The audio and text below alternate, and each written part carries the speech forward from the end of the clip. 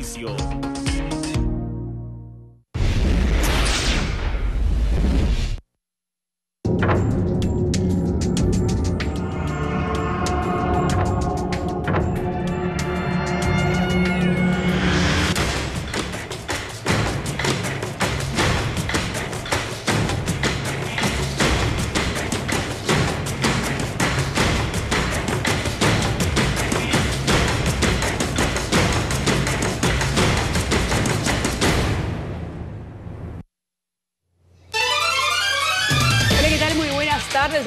Son impresionantes imágenes de lo que ha ocurrido en el mercado de Sanarate, en donde por supuesto la gente ha perdido su mercadería.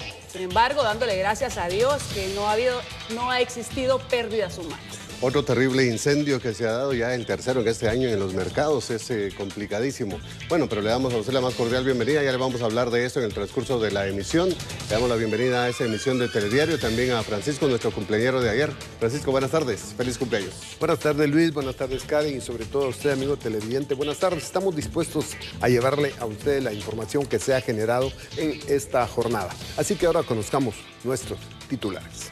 Voraz incendio Fuego consume locales y deja pérdidas millonarias en Sanarate.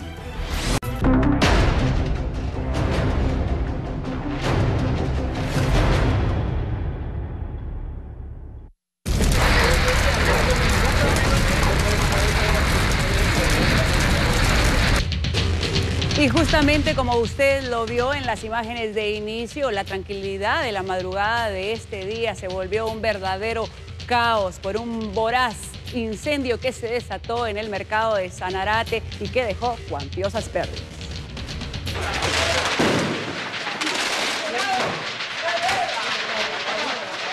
Incendio en locales del mercado municipal de Sanarate en el departamento del Progreso dejó miles de quetzales en pérdidas.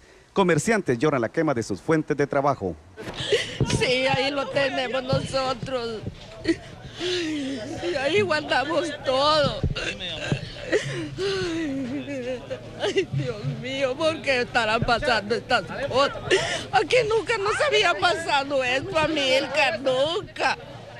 a mí, nunca. me duele porque yo soy una mujer sola, no, no, tengo a nadie que me ayude. Están mis hijas también, que aquí trabajamos juntas.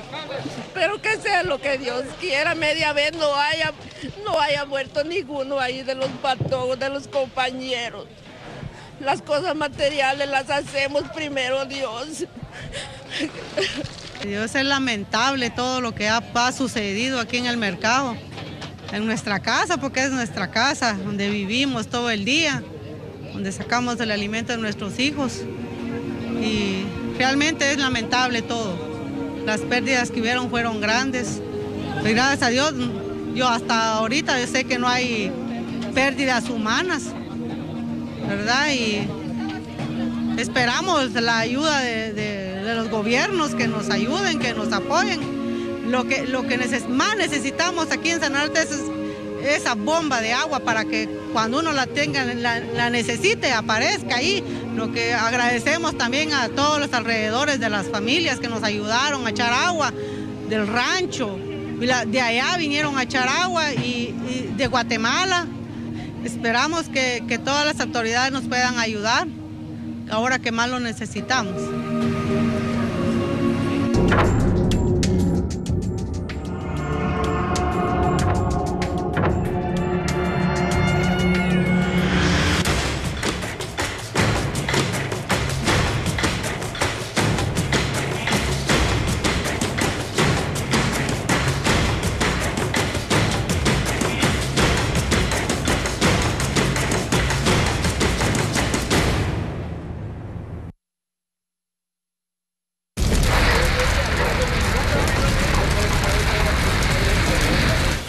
Precisamente mi compañero Julio Hernández y una de nuestras unidades viajó a este lugar del siniestro para conocer más acerca de lo que ocurrió. ¿Quién nos tiene el siguiente reporte? Julio, buenas tardes, adelante.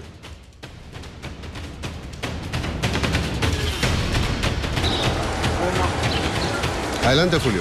Así muy buenas tardes, compañeros, sean el estudio central de Telediario. A esta hora queremos llevarles más imágenes de lo que ha ocurrido y cómo se encuentra en este momento el mercado eh, de Sanarate, la parte afectada, el lugar donde existía un aproximado de 30 locales eh, que servían como bodegas para almacenar diferentes productos, tanto alimenticios, bodetillos, diferentes productos de venta en este lugar, los cuales eh, posteriormente eran llevados a diferentes eh, locales y puestos de venta también de este mercado de Sanarate. En este lugar se registra este incendio, el cual deja como saldo aproximadamente a 50 locales afectados, porque no solamente esta área fue la afectada, sino también una calle que nosotros pues también les llevábamos imágenes donde se podía observar eh, cómo estaban completamente destruidos varios de los locales que estaban instalados en esa calle principal, así como acá, a esta bodega donde nosotros hemos ingresado para que ustedes puedan observar y puedan ver las pérdidas que ya son pues de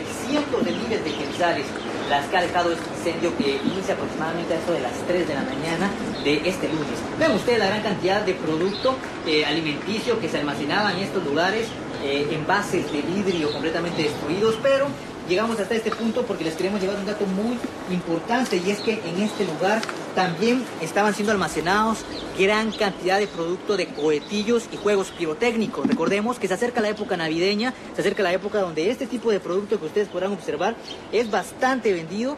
Vean ustedes acá hay luces eh, que son utilizadas para colocar en los arbolitos navideños. También hay misiles, eh, cohetillos que ustedes van a poder observar. Estos famosos chiltepitos que pueden ver ustedes acá. Eh, todo esto también colaboró para que el incendio se hiciera más grande y se propagara. todo esto es el saldo de este incendio eh, que nosotros pues, les hemos estado informando desde acá de Sanarate. Hemos llegado hasta este punto desde muy temprano, desde que se da a conocer la información de este incendio para que usted esté completamente enterado de las pérdidas que ascienden aproximadamente a un millón de quetzales. Con estos datos, compañeros, vamos a retornar entonces hasta el estudio central de Telediario. Muy buenas tardes. Buen trabajo, Julio. Muchas gracias por el reporte. Continuamos.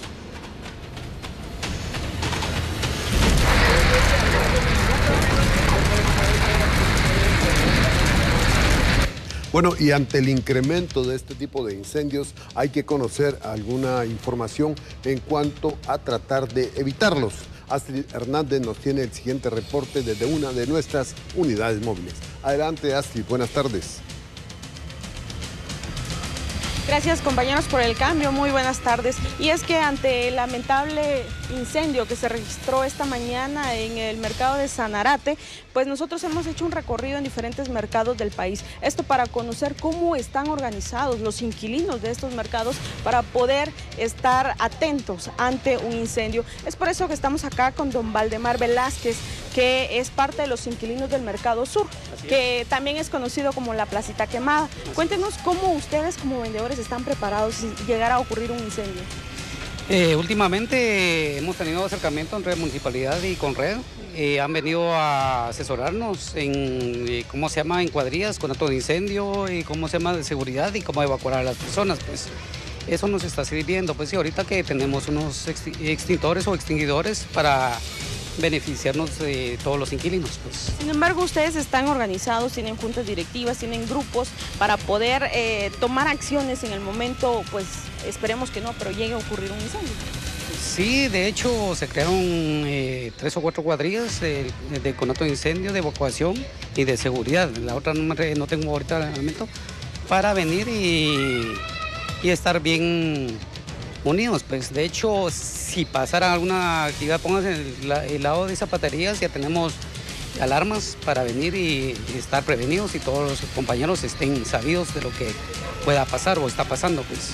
Valdemar, estas medidas ustedes las han tomado en cuenta debido a que pues este mercado ya ha tenido historia. Ya conocemos que en 1958 ocurrió el incendio, que por eso lleva el nombre de Placita Quemada, es muy conocido. Es por eso que ustedes toman estas medidas como inquilinos. Así es, eh, a raíz de todas estas situaciones que están pasando en otros mercados, eh, nos hemos tomado la molestia de venir y, ¿cómo se llama? Unirnos para que ver de qué manera podemos resolver este problema. Pues. Gracias, don Valdemar. Y es que pues nunca sabemos, los incidentes ocurren y no se sabe cuándo puede llegar a ocurrir un incendio. Sin embargo, como ustedes pueden observar a través de estas imágenes que nosotros les llevamos en este momento, acá en el Mercado Sur los inquilinos pues sí están organizados, aunque como ellos mismos mencionan, pues eh, no saben en qué momento pudiera ocurrir un siniestro, esperando que no suceda en este lugar. Sin embargo, debido a todos estos incidentes, pues han tomado cartas en el asunto. Al momento ellos se organizan para adquirir más extinguidores, puesto que acá en el mercado únicamente hay dos extinguidores para los más de 1.115 eh, locales comerciales que hay en este mercado. Es uno de los mercados más grandes que tiene la ciudad capital. Yo regreso con ustedes, compañeros. Muy buenas tardes. Gracias, Astrid, por la información. Y es que la prevención es la base fundamental para evitar este tipo de tragedias.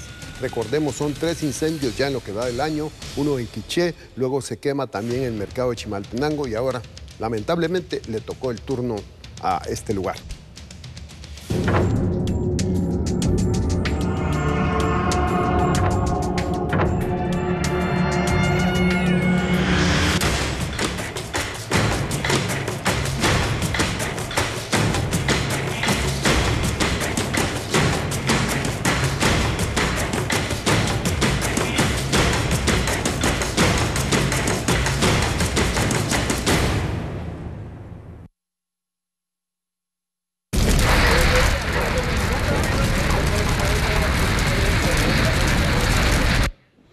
Y ya lo dijo anteriormente Francisco, porque hoy fue el mercado de Sanarate, pero usted recordará que recientemente también el mercado de la terminal estuvo expuesto al fuego y fue consumido por las llamas, provocando cuantiosas pérdidas. Aquí le tenemos algunos detalles y antecedentes. Desde su inauguración en 1959, el mercado La Terminal, ubicado en la zona 4 de la ciudad capital, es el que más incendios ha tenido los cuales han dejado cuantiosas pérdidas millonarias y vidas de locatarios. El más reciente siniestro en este concurrido mercado ocurrió el pasado 25 de marzo de 2014, en el que se consumieron más de 600 negocios. El fuego inició a la 1.30 horas y dejó como resultado 6 vendedores lesionados y 12 socorristas intoxicados. El trabajo de los socorristas necesitó más de 10 horas para sofocar el fuego que consumió puestos de granos básicos, ropa, zapatos, abarrotes, carnes, verduras y frutas. Los inquilinos se enteraron del incendio e intentaron sofocar las llamas con lo que tenían a la mano. Una enorme cortina de humo se elevó al cielo y alarmó a la mayoría de habitantes que residen cerca de esa zona. Al final los bomberos lograron controlar el siniestro que una vez más dejó a los locatarios hundidos en la desesperación.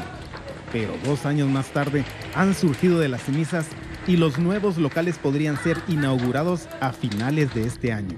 Un cortocircuito habría provocado el fuego en el mercado de artesanías de la capital centroamericana de la fe, Esquipula Chiquimula. El fuego se produjo desde la una de la madrugada del 12 de agosto de 2015 y se extendió a la mayoría de locales. Impresionados por lo ocurrido, los locatarios llegaron con recipientes con agua y botes de arena y comenzaron a sofocar el siniestro que consumió ventas que en su mayoría guardaban velas y productos para venerar al Cristo Negro de Esquipulas bomberos departamentales municipales acudieron al lugar para contrarrestar las llamas con apoyo de socorristas de Zacapa. Las pérdidas fueron millonarias y ese día se consumieron 3.000 locales, lo que trajo a la memoria de los vendedores aquel 27 de noviembre de 2013 cuando otros 200 puestos más se quemaron en el lugar. Claro, y esto nos lleva a reflexionar sobre el hecho de que es necesario tomar las medidas de precaución para evitar este tipo de incidentes que ocurren a veces por accidentes, ¿no? De una veladora o de un cortocircuito o que no dejamos apagados los aparatos. Justamente yo tomé nota de eso porque lamentablemente esto no tiene un horario en, que ocurra y si ocurre de, noche, entonces tome usted en cuenta que hay que revisar las instalaciones eléctricas, evitar dejar candelas y veladoras tal y como tú decías y apagar los aparatos que realmente no tengan que estar encendidos de noche. Así que esto es para evitar ese tipo de Claro, y hoy que estamos tan cerca de las festividades de fin de año, también tener precaución con los juegos pirotécnicos. Así que, ¿qué le parece si nos vamos a una breve pausa? Pero usted siga con nosotros porque hay más noticias cuando regrese. Usted se informa en Telediario.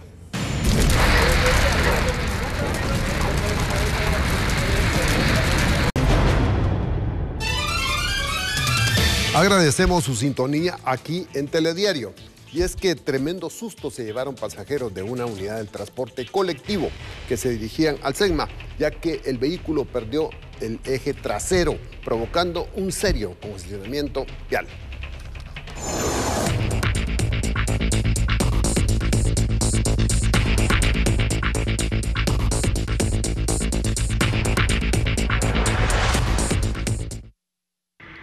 Tremendo susto se llevaron las personas que iban a bordo de un bus de rutas cortas al momento que el piloto perdiera el control de la unidad por aparentes fallas mecánicas, ocasionando que colisionara con una pared y que el eje trasero se desprendiera por el fuerte impacto.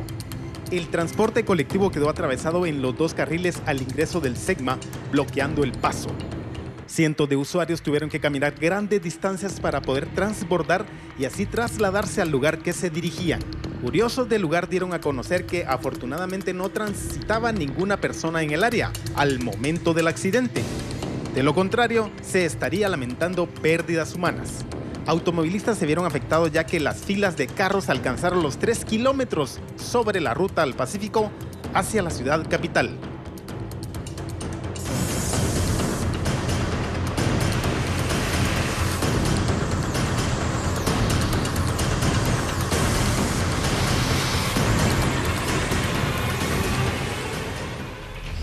Vamos a cambiar de tema y con esta nota queremos tocar las fibras de su corazón.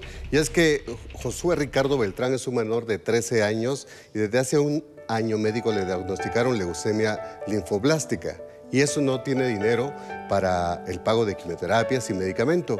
Por ello, vecinos han hecho una serie de actividades para apoyarlo y ayudarlo allá en el municipio de Amatitlán.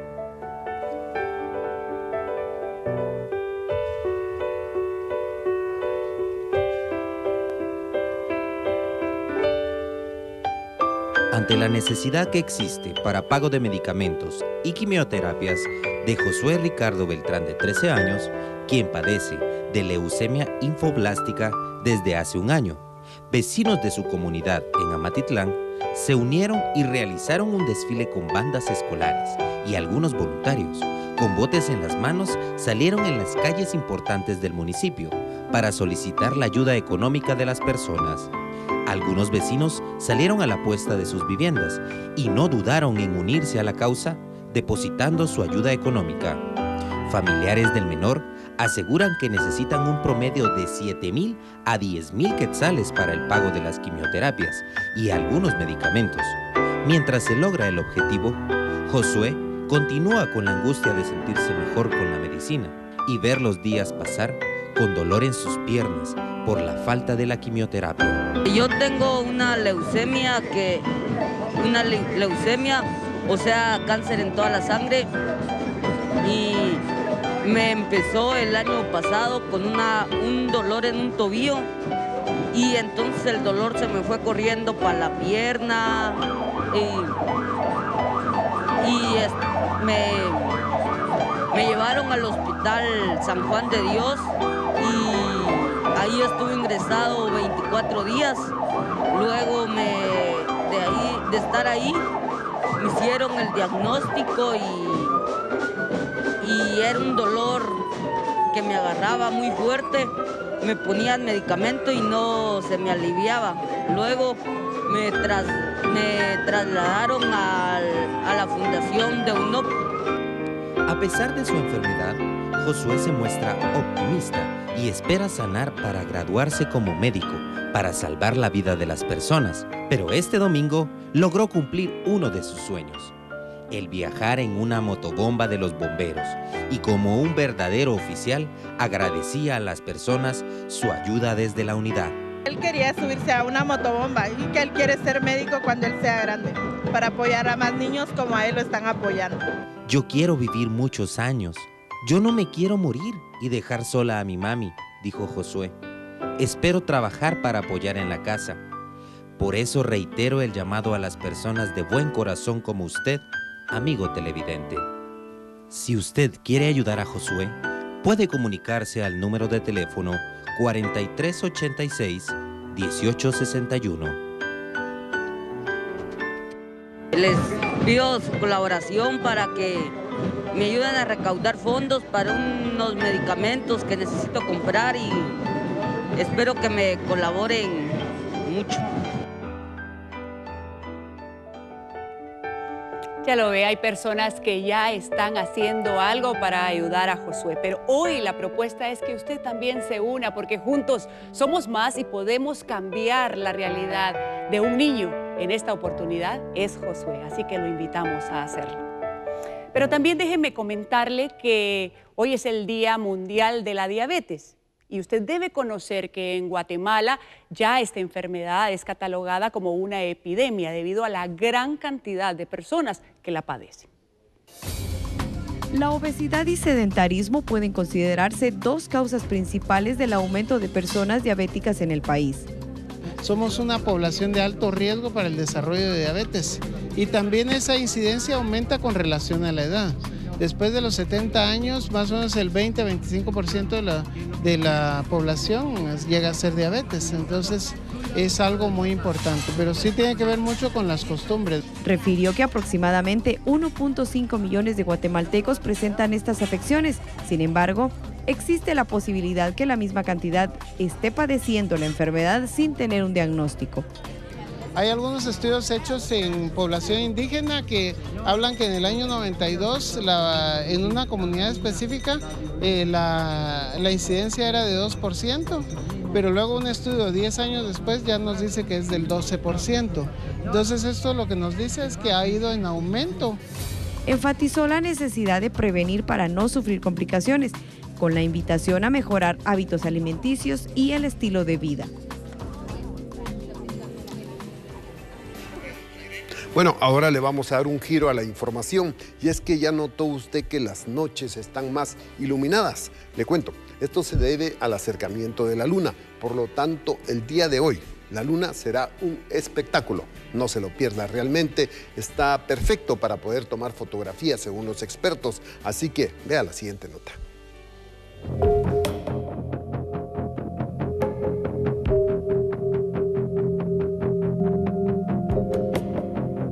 Miles de personas esperan con ansias la llegada de la noche para disfrutar del fenómeno llamado la superluna, la cual será la más grande y brillante registrada en las últimas siete décadas. Las lunas llenas de octubre, noviembre y diciembre tendrán lugar como cuando ésta se encuentre en su perigeo o punto más cercano de aproximación en su órbita, alrededor de la Tierra, lo que las convertirá en superlunas. Este 14 de noviembre se espera que no solo sea la más cercana y brillante del 2016, sino también la más grande desde 1948. La luna llena no llegará tan cerca de la Tierra hasta el 25 de noviembre de 2034, según un comunicado publicado por la NASA. Este lunes la luna estará a solo 356.509 kilómetros de la Tierra, si las condiciones meteorológicas lo permiten, el impresionante espectáculo se podrá ver en todo el mundo a simple vista. Así que prepare su cámara, pero sobre todo abríguese adecuadamente porque hoy la luna será un espectáculo. Y de esta forma vamos a un corte comercial y luego regresamos.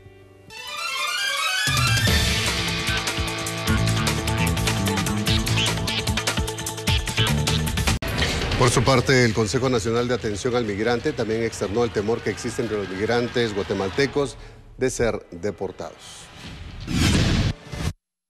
Pues la introducción es de que existe de alguna manera mucha zozobra y temor por la reciente elección del señor Donald Trump, eh, lo cual uno de los primeros temas que queremos abordar el día de hoy es ya las denuncias que tenemos en el departamento de Chimaltenango, porque el coyotaje ya empezó a hacer una campaña para promocionar sus servicios eh, con el tema de que llegando Trump al poder, eh, siendo ya electo presidente, pues se va a prohibir el ingreso de la migración a Estados Unidos, por lo cual están ofreciendo hasta pagos fraccionados.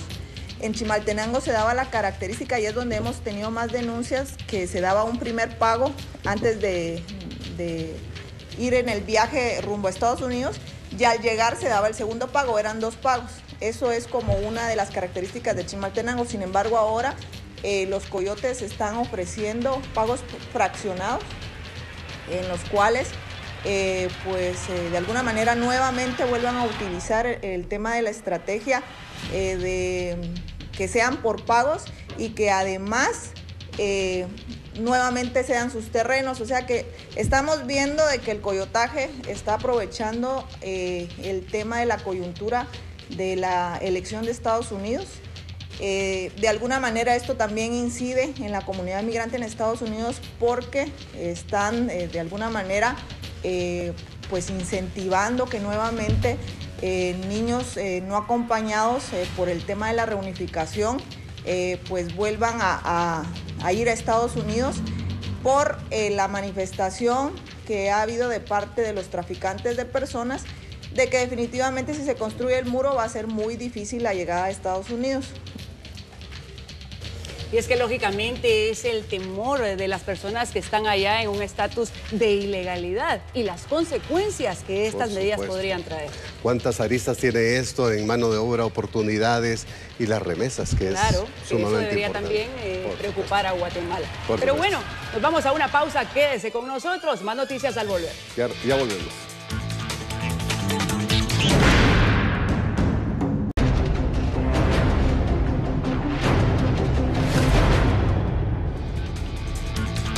Estamos de regreso con más información. Déjeme comentarle que los bancos del sistema aumentarán los controles, esto sobre las transacciones sospechosas por el incremento del flujo de dinero para fin de año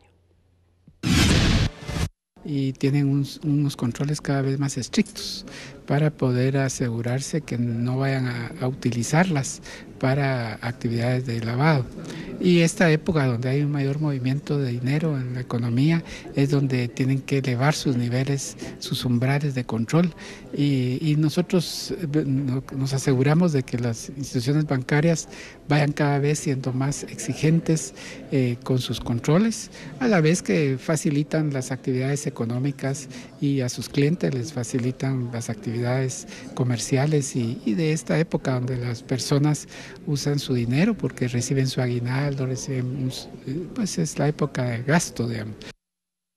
Bueno, y siempre en este tema, muchas motocicletas que circulaban con placas provisionales tendrán próximamente la placa formal, las cuales ya están a disposición según la SAT.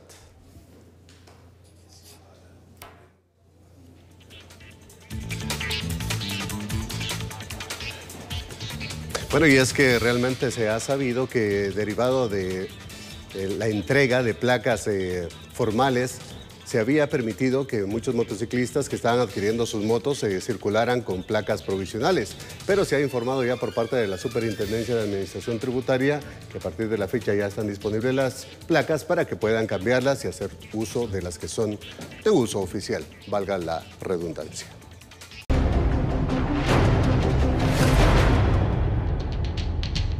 Y ahora déjeme informarle que 62 empleados del Congreso de la República fueron beneficiados hoy con una medida cautelar. Esto después de ratificar una denuncia que habían interpuesto en contra de Mario Taracena. El juzgado de turno de femicidio otorgó medidas cautelares a 62 trabajadoras del Congreso de la República, quienes ratificaron la denuncia en contra del presidente Mario Taracena, Gerson Sotomayor, Emilio Dávila Figueroa y Edgar Arturo Ramírez por los delitos de violencia contra la mujer, abuso de autoridad y violencia psicológica. El juzgado de femicidio ordenó a la jefatura de la Comisaría 11 de la Policía Nacional Civil prestar las medidas de seguridad durante un plazo de dos meses. Esto para evitar que las personas antes mencionadas se acerquen o traten de agredirlas como medida de represalia por haber ratificado la denuncia.